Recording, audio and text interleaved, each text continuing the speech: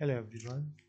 Today I'm going to discuss very important PC trick how you can create an invisible folder on your system. So this is the folder without any name and you can see it's invisible. So either you can right click on this or you can double click to open this folder.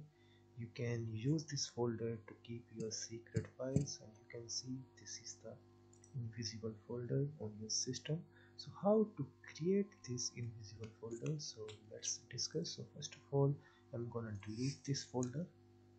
So how to create? Just right click on your system and go to the new and folder. And without typing anything just right click and insert unicode control character. And here you can insert this national digit shape substitution. So just click here you can see I have created a folder without any name so this is one trick. And now I want to make this folder invisible. So how to do that? So just right click here and go to the properties and click on customize. And here you can see the option change icon.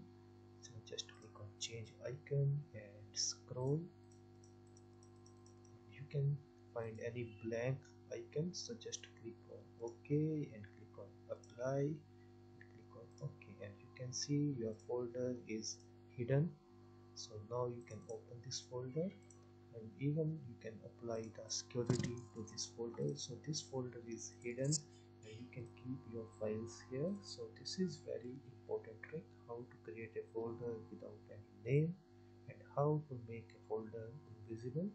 That's all. Thank you